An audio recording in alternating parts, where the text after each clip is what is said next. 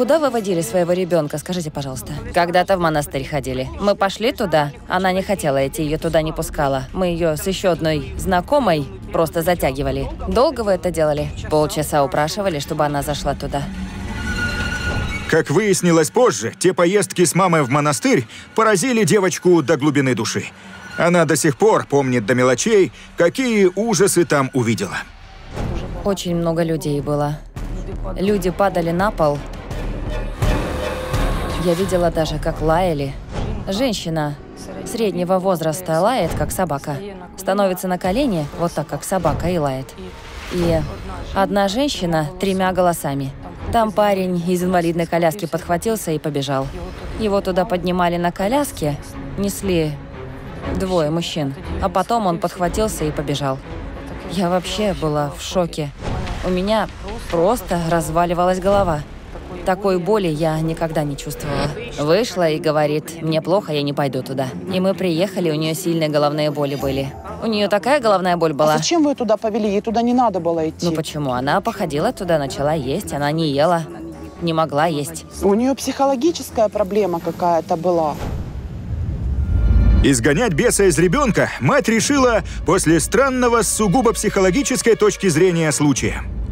Я села пообедать. Когда глотнула, оно мне просто попало куда-то не туда, куда надо. Я очень испугалась. И я перестала есть. И у меня в рационе пищи, кроме жидкой, как молоко манки, не было ничего за два месяца. Я похудела, было где-то 38 или 37 килограмм. И подружка мамина посоветовала отвезти меня в Выдубицкий монастырь. Люди, ну вы меня простите, ну почему с любой болячкой нужно бежать к бабкам или на вычетку в монастырь? Девочка не кушает, они из нее бесов изгоняют. Но есть же медики, психологи, в конце концов. А потом они удивляются, где же мы нацепляли на себя столько нечисти. Демон ходит за ней. Но мы же вроде пошли в монастырь. Смотрите, пришли люди, которые объективно одержимые. Их лечат, да? То есть и этих демонов выгоняют. Поэтому людей там коробит, поэтому они рычат, Да, поэтому да, вот да, это вот да, все да. происходит. Но куда деваются эти демоны? Скажите мне, пожалуйста. Им же надо куда-то деться. Она не была одержимая, не было э, вне демона. Оно просто подсело. Для вас это прошло незаметно. А у нее, знаете, жизнь разделилась на до и после. Мне так было дурно, что аж страшно. Меня туда заталкивали. Я как паук ухватилась за дверь. Они меня силой заталкивали. Мама хотела как лучше, а получилось как всегда.